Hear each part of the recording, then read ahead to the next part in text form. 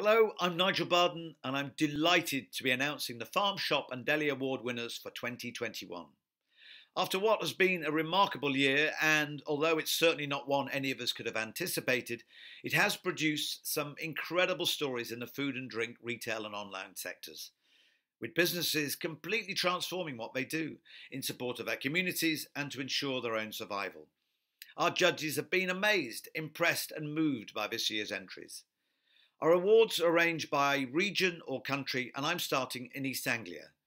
Judges said about the winning entry, it's quite remarkable. They've completely changed the business by taking to the streets in a 1960s tractor and trailer before buying a refrigerated van.